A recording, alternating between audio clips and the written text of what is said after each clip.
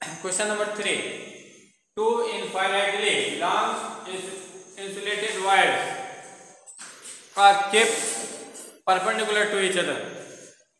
They carry current I1 is equal to 2 ampere, I2 is equal to 4.5 ampere. Find the magnitude and direction of the magnetic field at P. At point P. Part 1. magnitude and direction of the magnetic field अच्छा part one if the direction of current be reversed in one of the wires what would be the magnitude of the field ठीक है ठीक है तो दो part है एक part one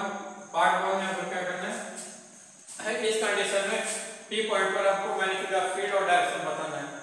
फिर किसी एक वायर में डायरेक्शन ऑफ करंट हम बदल लेते हैं उस केस में पॉइंट बी पर जो है डायरेक्शन मैग्नीट्यूड ऑफ फील्ड और डायरेक्शन ऑफ फील्ड बताना है ठीक है तो देखिए तो this is the straight conductor I1 is I1 current is state current I2 is also straight current तो हम स्टेट करंट से पॉइंट बी पर फील्ड निकालेंगे due to I one and due to I two और मैट्रिक field is vector quantity अब दोनों field को क्या करेंगे वेक्टर सम करेंगे दोनों फील्ड को क्या करेंगे वेक्टर सम करेंगे है ना तो नेट फील्ड आ जाएगा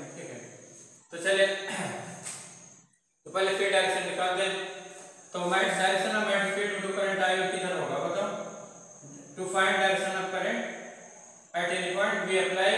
right hand palm rule number 2 na so according to right hand palm rule palm rule number 2 stretch or your first uh, two stretch your four fingers and thumb of right hand with perpendicular to each other so that four finger is directed towards point and thumb in the direction of current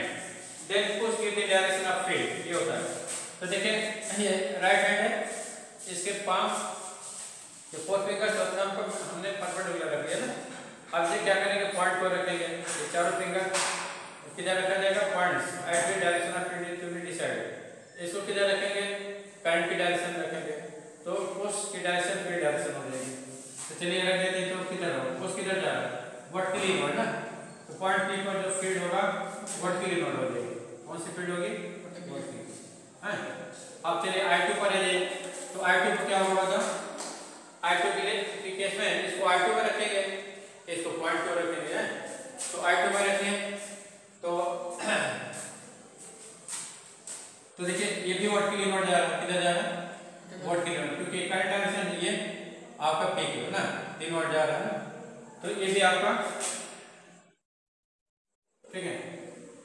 तो net मैट्रिक field at point P क्या हो जाएगा तो net matric field at point P net magnetic field at point P. Is the sum of magnetic field due to परटाइडल and परटाइडल ना दोनों की फील्ड यहां पे क्या होगी जुड़ जाएगी है तो net magnetic field at point P part 1 net magnetic field field at point P दोनों फील्ड एक ही डायरेक्शन में है दोनों करंट से इसलिए B इक्वल क्या होगा B1 B2 ठीक तो B equal to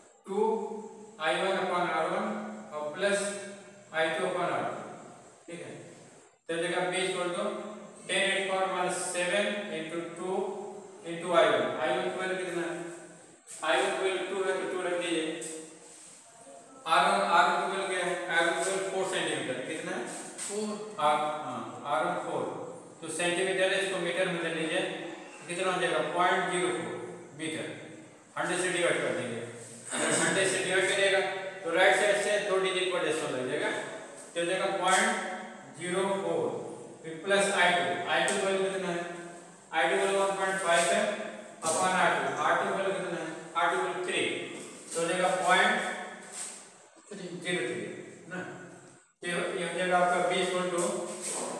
b is equal to 10 raised power minus 7 into 2 into ये हो जाएगा 200 और 200 upon 4 और प्लस 150 upon 3 है ना ये हो जाएगा b इक्वल कितना हो गया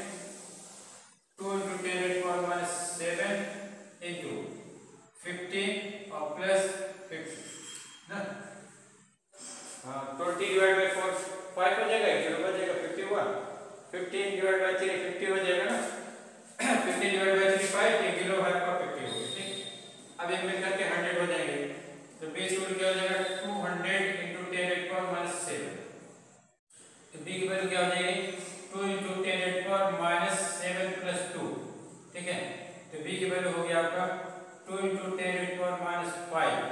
tesla ये आपकी फील्ड होगी अब हम्म। डायरेक्शन किधर होगा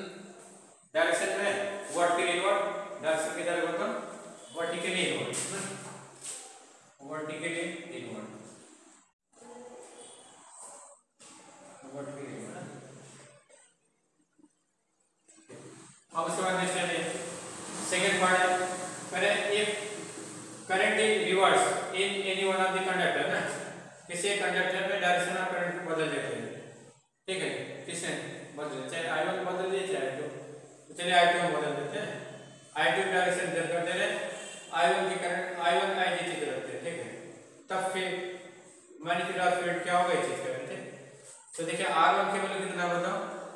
zero point zero four metre और आर टू की वैल्यू क्या है पॉइंट जीरो थ्री मीटर अब क्या करना है डायरेक्शन आप फील्ड की ओर बदल जाएगा ना आई वन की डायरेक्शन तो वही तो आई वन से फील्ड हमारी direction of field two I one तो इन्वर्ट ही रहेगा है ना तो डी वन आपका क्या हो गया इन्वर्ट हो गया बी वन क्या हो जाएगा इन्वर्ट अब बी टू की डायरेक्शन बदल जाएगी बी टू किधर हो जाएगा आउटवर्ड बी टू किधर हो जाएगा आउटवर्ड ना ठीक है तो बी टू बी आपका क्या है आउटवर्ड है आउटवर्ड डॉट से निकल रहा है अच्छा दोनों फील्ड इक्वल आ गए यहां देखिए आई वन से 50 और आई टू से 50 ना और हाँ, अपोजिट हो गए माइनस हो जाएगा क्या हो जाएगा माइनस ना ठीक तो नेट फील्ड क्या होगा जीरो होगा तो B equal to B naught upon 4 pi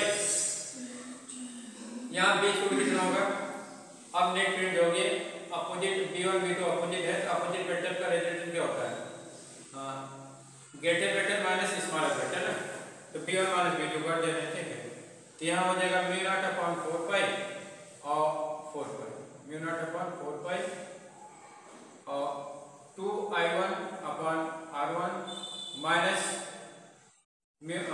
two I two upon R two I two upon R two तो राइट वैल्यू ये हो जाएगा ten at point minus seven into two into I one I one कितना है I one की value two R one given point zero four minus I two I two बोलो कितना होगा आई टू बोलो वन पॉइंट फाइव बोलो point zero three ना तो क्या हो जाएगा ten at power minus seven into four hundred upon four minus ये हो जाएगा आपका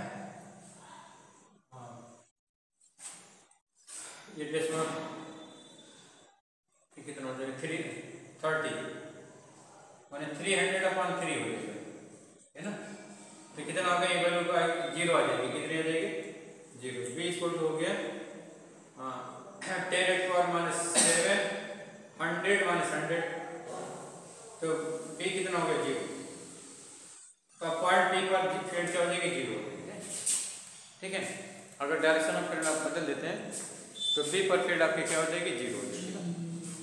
चलिए काफी करिए Right.